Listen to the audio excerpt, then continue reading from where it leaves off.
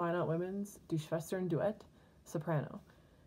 For the sake of keeping this video short, um, the first four out of these five verses are identical, so I'm going to play the same melody the whole time. The rhythms do change a little bit depending on the words, but watch for that. But here is the soprano for the first four verses. One, two, one, two.